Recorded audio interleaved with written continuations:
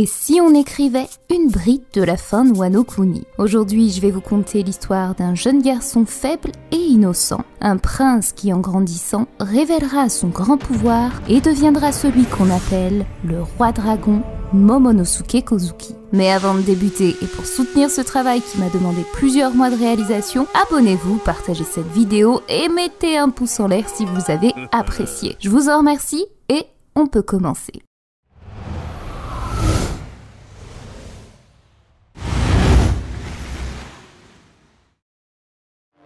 Durant des siècles, la lignée des Kozuki fut célèbre pour son taillage de pierre exceptionnel, transmis de génération en génération. Un savoir-faire unique qui serait à l'origine de la confection des précieuses et indestructibles stèles nommées les poneglyphes. Hélas, la transmission de ce savoir-faire prit fin dès lors où l'ex-shogun Sukiyaki et son fils le grand Oden Kozuki disparurent, emportant avec eux l'unique capacité de déchiffrer ce langage d'exception et qu'ils ne purent transmettre à leurs descendants Momonosuke et Yori Kozuki. C'est ainsi que des siècles de savoir s'éteignirent et sombrèrent dans l'oubli. Le clan Kozuki fut célèbre et adoré par son peuple dans cette contrée aux fleurs de sakura, Wanokuni, le pays de l'harmonie. Ils instaurèrent une paix et un paysage luxuriant bordé de rivières, de forêts, où les saisons se croisaient et où il faisait bon d'y vivre. Mais un beau jour, cette cité prospère tomba dans les mains d'un homme avide de pouvoir et de vengeance, Korozumi Orochi toute une nation sombra, éclipsant ce soleil radieux pour ne laisser qu'un ciel assombri par la peur et la crainte. Famine, pauvreté, exécution, esclavagisme. Voici ce qu'est advenu du peuple de l'harmonie et de ce beau tableau qui ne laissa place qu'à un décor profané par l'homme. Aujourd'hui, les descendants de la lignée Kozuki, Momonosuke et Iori sont prêts à rallumer cette flamme éteinte dans les yeux de leur nation. L'oiseau Kozuki vit toujours et renaîtra de ses cendres tel un phénix. C'est main dans la main que cette fratrie s'unira pour ouvrir les portes de leur royaume, éclipsant les ténèbres et laissant place au rayonnement d'un soleil lumineux qui lui valut autrefois son surnom de pays doré. La nature reprendra ses droits et retrouvera sa splendeur d'antan, cédant place à une ère nouvelle et où leur nom retentira à travers le monde entier, Wanokuni, le pays de l'harmonie, le pays des samouraïs. Mais avant que cette prophétie puisse s'accomplir, revenons à aujourd'hui et comprenons l'histoire de cet élu Momonosuke Kozuki.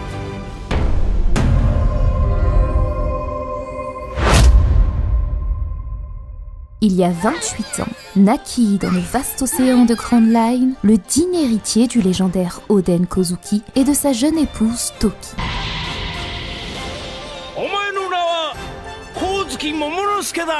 Jour après jour, l'enfant grandit et arpente aux côtés de sa famille la vaste terre qui l'entoure. Ils vécurent heureux et en parfaite harmonie. Mais tous ignoraient que ce destin allait être bouleversé. Huit ans passèrent et c'est de retour au pays que les cris de joie laissèrent place aux larmes et au désarroi. Ils ne retrouvèrent plus rien de leur belle contrée, ni les rivières ruisselantes, ni les forêts verdoyantes, ni les animaux courant dans les champs. Il ne restait plus qu'un paysage de désolation. Le pays était tombé sous l'emprise de l'horrible serpent à huit têtes Orochi et du terrifiant dragon Kaido. Le père du jeune garçon fut exécuté et sa famille chassée et traquée jusqu'au dernier.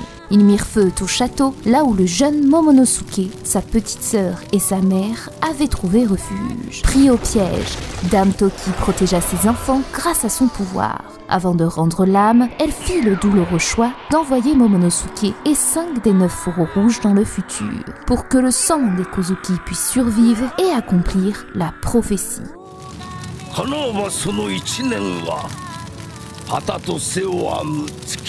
C'est ainsi que les aventures de ce valeureux petit prince, accompagné de ses vassaux, débuta. Courageux, il affrontera le monde extérieur et rassemblera de nouvelles forces pour accomplir sa destinée. Vaincre et libérer son pays de l'emprise du monstre à huit têtes Orochi et l'ogre sans bête Kaido. Sur cette route parsemée d'embûches, Momonosuke y fera de nombreuses découvertes, comme celle d'un fruit du démon artificiel créé par le docteur Vegapunk. Affamé, le jeune garçon mangea cette pomme gardée précieusement dans un laboratoire. Mais il ignorait que ce fruit lui offrirait la capacité de se transformer et prendre l'apparence d'un dragon. Et c'est sous cette forme qu'il rencontrera pour la première fois l'équipage pirate au chapeau de paille. Son capitaine Monkey D. Luffy portera secours à notre jeune samouraï et lui fera la promesse de vaincre le dragon qui tient prisonnier son peuple. C'est de cette alliance que débuta la Grande Guerre au pays des Wa et qu'une difficile épreuve attendait notre jeune héros Momonosuke, celle de vaincre ses peurs et ainsi libérer son véritable pouvoir, celui du roi dragon.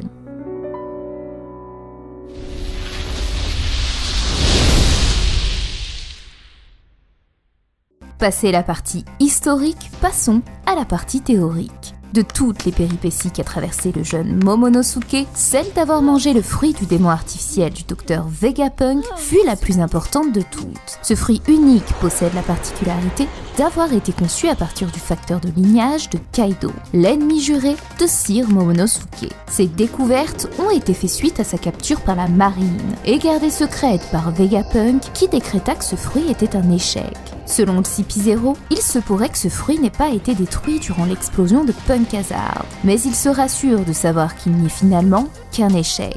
Et c'est là toute la clé de ce fruit du démon artificiel, puisqu'en plus d'avoir survécu à l'incendie, il a surtout été mangé par Momonosuke Kozuki, lui conférant la capacité de se transformer en dragon. Il ne semble n'avoir ni la carrure, ni la force, ni la puissance nécessaire pour égaler le fruit de Kaido. Et Momonosuke le dit lui-même, il est faible. Pourtant, il se pourrait bien qu'à l'avenir, ce fruit détienne un pouvoir capable d'égaler celui de l'indestructible homme en sang bête. Et pour comprendre comment ceci est possible, il faut analyser l'histoire du fruit de Kaido.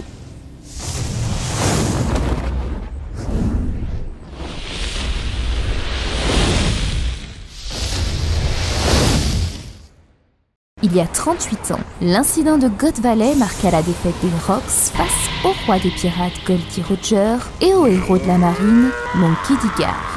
À cet instant, Charlotte Linlin parvint à se procurer un fruit du démon qu'elle offrit à son ex-coéquipier Kaido. Son nom, le Uo modèle Seryu. Uo pour poisson et Seryu pour dragon azur. Ce zoan mythique tire son inspiration de la légende de la carpe koi.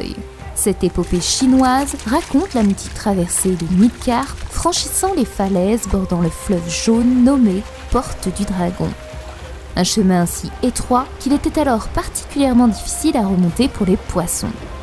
Ainsi ceux qui parvenaient à franchir cet obstacle furent gratifiés du titre de dragon. L'image de la carpe devenant dragon symbolise alors l'homme qui parvient par lui-même à gravir les échelons de la société. Un message fort qui vous enseigne qu'à force de patience, de persévérance et d'effort, vous parviendrez à atteindre les sommets et surmonter n'importe quel obstacle. Une histoire qui prend alors tout son sens pour bien des choses, car en comprenant la philosophie de cette légende, on comprend alors à quel point ce fruit est terrible car c'est par la persévérance que vous obtiendrez ce que vous souhaitez, à l'image de ces carpes devenues dragons. Et c'est justement aujourd'hui ce qui manque au jeune Momonosuke. Lui qui se dépeint si faible et pleurnichard a affronté bien des épreuves de la vie.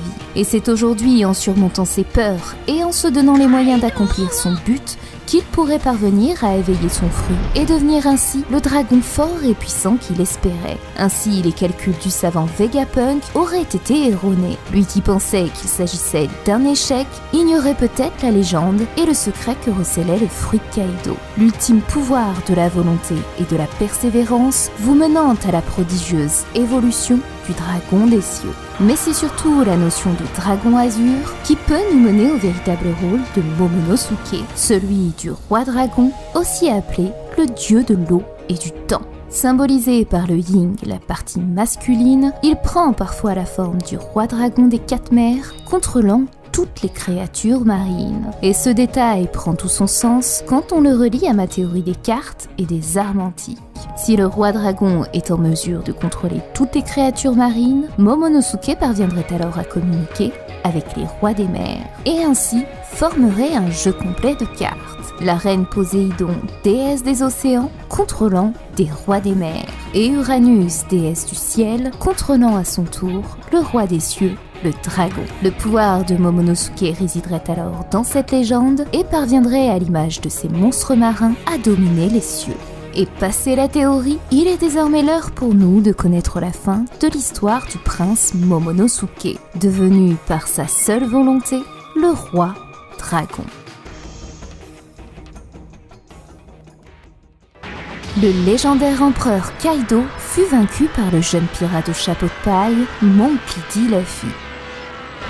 Le courroux du dragon azur s'en est allé sur le pays des Sakura, et la guerre se clôt enfin par la victoire des samouraïs sur l'homme aux 100 bêtes. La capitale s'enflamme et le festival du feu bat son plein. Les lumières, les rires et les tambours résonnent jusqu'au ciel. Wano Kuni est libre. Mais cette célébration fut de courte durée. L'harmonie qu'on pouvait entrevoir se disperse. Les lumières s'éteignent et laissent place à l'obscurité. La joie qui se lisait sur leurs visages ne sont plus que larmes et désarroi. Oui, la défaite de Kaido n'était pas seulement la sienne, mais celle du pays tout entier. Onigashima s'apprête à s'écrouler sur la capitale des fleurs, maintenue jusque-là en flottaison grâce au pouvoir du fruit de l'empereur. L'île tremble peu à peu et tout ce présent se raccroche comme ils le peuvent pour ne pas sombrer. Les sons des tambours ne sont plus que des cris de douleur et les prières s'en vont au ciel pour implorer Dieu de les sauver. Là-haut, le combat contre Kaido a éreinté les combattants, laissant à Luffy inconscient. Son équipage et les fourreaux rouges essaient tant bien que mal de se relever et d'empêcher ce désastre. Mais tous sont démunis et à bout de force. Désormais, seul un miracle pourrait les aider. C'est sous l'obscurité et les nuages qu'un rayon de lune lumineux apparaît, laissant se dévoiler la silhouette d'un jeune enfant. Sous cette brume céleste, seul le son d'une voix retentit. Minna La lune apparaît et dévoile le visage du jeune prince Momonosuke. L'écho de sa voix résonna jusqu'à la capitale. L'espoir renaît et chacun se relève pour croire à ce miracle. Ennemis, alliés, samouraïs, Mugiwara, tous vont unir leurs forces pour maintenir Onigashima loin de la capitale. Mais tout à coup, l'île bascule. Faisant ainsi chavirer le jeune prince dans les profondeurs de cette mer agitée qu'est Wano Kuni. Kinemon se précipite pour attraper la main de son jeune maître, mais malheureusement, il est trop tard. Le garçon perd connaissance et se retrouve pris dans les tourbillons de cette mer agitée.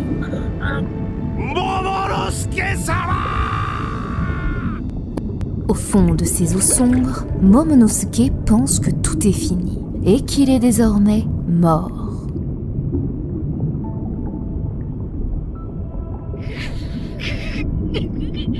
Il pleure et se dit qu'il a échoué et a été incapable de protéger les gens qu'il aimait. Et c'est dans cette obscurité abyssale qu'une lumière jaillit et qu'une voix retentit.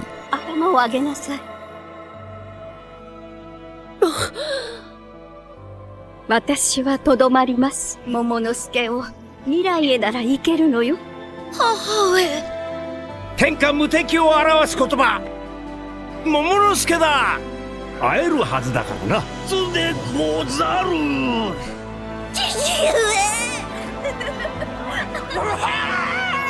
兄はまだ幼いまま。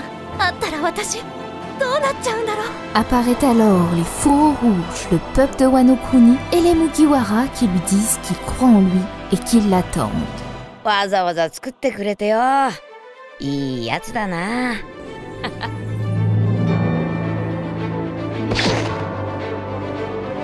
な神月桃之助である今こそ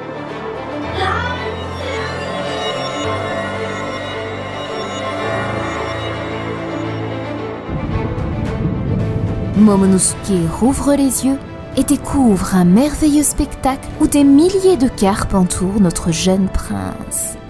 Momonosuke se transforme alors sous sa forme dragon et c'est avec détermination que chacune d'elles portera le garçon pour le remonter à la surface et le faire jaillir des eaux et grimpe la cascade aux côtés des carpes. Sa détermination le conduira à dépasser peu à peu les carpes et atteindre la porte au sommet de la cascade pour laisser place à un hurlement. Je suis Momonosuke Kozuki et je serai le shogun de Wano Kuni. Il traverse alors les nuages pour laisser apparaître au clair de lune un immense dragon dans les cieux de la capitale. Tous lèvent alors les yeux au ciel et aperçoivent cette tombe planant au-dessus du pays des samouraïs. Onigashima continue de tomber sur la capitale et s'est effrayé et désespéré que chacun de ses fonde pensant que Kaido est revenu à la vie et que c'en est fini du pays des samouraïs. Mais seuls les mots de Luffy fera jaillir la vérité. Il se réveille et déclare Non, c'est celui qu'on attendait, le véritable shogun de ce pays. C'est dans ce dernier instant et dans un compte à rebours ultime que Momonosuke utilise la même technique que Kaido et fait léviter à son tour Onigashima pour ainsi stopper sa chute. Le peuple est sauvé. Tout comme il y a deux ans, lorsque les rois des mers ont stoppé l'arche Noah qui s'apprêtait à s'écrouler sur l'île des hommes poissons. Aujourd'hui, l'histoire se répète, mais cette fois, il s'agit de celle d'un jeune garçon prénommé Momonosuke Kozuki. Cet enfant si faible et peureux autrefois est parvenu à vaincre ses peurs et s'armer de courage pour sauver son pays. Les voix de sa famille et ses amis lui ont donné la force et la volonté d'accomplir ses rêves, et ainsi révéler sa véritable nature, celle du roi dragon du pays des samouraïs.